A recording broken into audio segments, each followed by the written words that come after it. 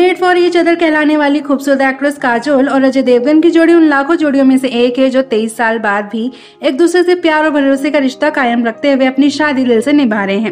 लेकिन दोस्तों, क्या आप जानते हैं कि एक समय पहले इन दोनों के बीच तीन कारणों के चलते इतनी दूरियाँ आ गई थी कि इनकी शादी टूटने की कगार पर आ गई थी और ये दूसरे से बिछड़ने वाले थे। पर आखिरकार क्या है वो तीन कारण? चलिए आपको बताते हैं। नंबर एक, रवीना की वजह से। ये बात किसी से छुपी नहीं है कि सिंगम अजय देवगन और ब्यूटीफुल एक्ट्रेस रवीना टंडन का एक समय पहले अफेयर रह चुका है। हालाँकि तब रवीना और अजय दोनों ही कुंवारे थे।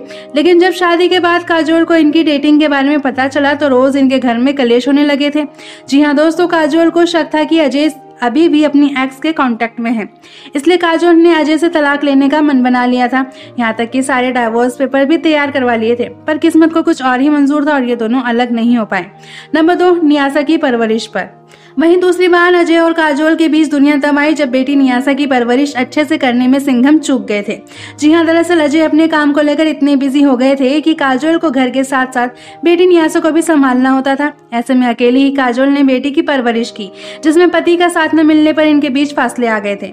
नंबर तीन वर्क की वजह से। भले ही शादी के बाद काजोल कई फ़िल्मों का हिस्सा बनी है, पर एक ऐसा भी समय आया था जब अजय ने इन्हें फ़िल्मों में काम करने से साफ़ मना कर दिया था और ये एक हाउसवाइफ बनकर रह गई थी।